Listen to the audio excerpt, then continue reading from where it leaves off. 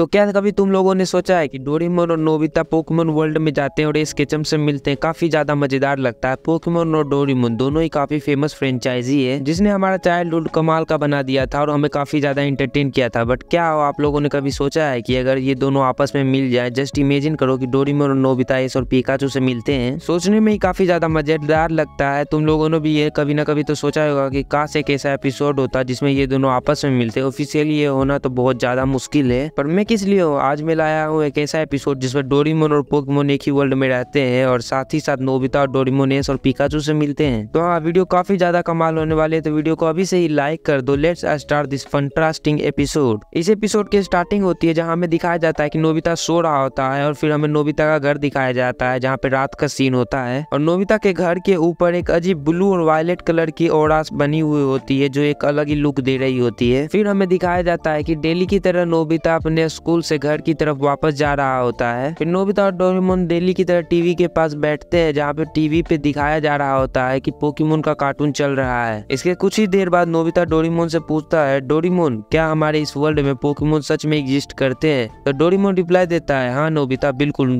Pokemon भी एक dimension में एग्जिस्ट करते होंगे। हमारी ये दुनिया काफ़ी बड़ी है, जिसमें अभी तक डायमेंशन और मल्टीवर्स एग्जिस्ट करते हैं, जिसमें से किसी में पोकेमोन भी एग्जिस्ट करते होंगे, जिसका कोई भी अंत नहीं है। तो हो सकता है कि इस दुनिया में किसी कोने में पोकेमोन का डायमेंशन भी मौजूद हो। उसके बाद नोबिता बहुत ज़्यादा जिद करने लगता है और डोरीमोन से कहता है कि मुझे उनसे मिलना है। फिर डोरीमोन नोबिता से परेशान होकर एक गेजेट निकालता है, जिसका नाम होता है अदर डायमेंशन ट्रेवलर जिसकी वजह से डोरीमोन और नोबिता दोनों ही पोकमोन के डायमेंशन में चले जाते हैं, पोकमोन की दुनिया में पहुँच जाते हैं। फिर अगले सीन में दिखाया जाता है कि नोबिता और डोरीमोन दोनों ही पोकमोन को देख रहे होते हैं। फिर नोबिता उन पोकेमोन के पास जाने की कोशिश करता है, लेकिन वो पोकमोन नोबिता पर हमला करके भाग जाते हैं। कुछ ही देर बाद वहाँ पर एक आंटी आती है, जो की नोबिता और डोरीमोन से पूछती है की तुम लोग यहाँ पे नए हो क्या? तो नोबिता बहुत आराम से रिप्लाई देता है की हाँ उसके बाद वो आंटी बोलती है तो तुम दोनों ज़रूर यहाँ पे पोकमोन वर्ल्ड चैंपियनशिप का फाइनल बेटल देखने आए होगे। तो नोबिता बोलता है, बेटल, तब आंटी बोलती है, आज एस और लियोन का फाइनल बेटल है मास्टर एट का। और ये जो बेटल होने वाले वो काफ़ी ज़्यादा कमाल और बहुत ज़्यादा ही पावरफुल ट्रेनर के बीच में है। और फिर ये डोरीमोन और नोबिता उस स्टेडियम की ओर जाने लगते हैं, जहाँ पर एस और लियोन का फाइनल बेटल होने वाला होता है। बेटल को डोरीमोन और नोबिता भी देख रहे होते हैं, जहाँ पर एस जो होता है, वो फाइनली लियोन को हरा देता है और बन जाता है पोकेमोन वर्ल्ड का चैंपियन उसके बाद नोबिता बोलता है की, मुझे अब एस केचम से मिलना है, उससे बात करनी है। उसके बाद डोरीमोन और नोबिता दोनों ही एस के पास चले जाते हैं, जहाँ पर वो ऐसे मिलते हैं, जिसके बाद नोबिता अपने बारे में बताता है इसको और ये भी बताता है कि वो कितना बड़ा फ़ैन है इसका। नोबिता कहता है, एस, क्या मैं आपके साथ एक फ़ोटो खिंचा सकता हूँ? उसके बाद नोबिता, डोरीमोन और एस एक साथ मिलकर एक फ़ोटो क्लिक करते हैं। उसके कुछ ही समय के बाद डोरीमोन और नोबिता वहाँ से गायब हो जाते हैं, क्योंकि उनके जो गेजेट की जो टाइम लिमिट थी वो खत्म हो जाती है, ओवर हो जाती है। फाइनली हमें फिर से वही वाला सीन दिखाया जाता है, जहाँ पर नोबिता सो रहा होता है और उसके घर के बाहर रात का सीन होता है, जहाँ पे ब्लू और वायलेट कलर की लाइट जो होती है वो दिखाई जाती है। तो हाँ इस एपिसोड को कभी भी टीवी पर या फिर कहीं पर भी नहीं दिखाया गया। ये एपिसोड ऑफिशियल नहीं, बल्कि फेन मेड है, जिसे पोकी एवी ने बनाया था। एंड ये एपिसोड आपको कैसा लगा कमेंट में बताना। एंड अभी तक भी चैनल को सब्सक्राइब नहीं किया है तो जल्दी से कर लो, क्योंकि आपको फ्यूचर में भी ऐसे मज़ेदार वीडियो मिलने वाली है। और इस चैनल पे डोरीमोन के ऐसे ही कंटेंट देखना चाहते हो तो जाके कमेंट में ज़रूर लिखना कि डोरीमोन पे और भी वीडियोस लाओ। तब तक के लिए दूसरी वीडियो जाके चेकआउट करो। राधे राधे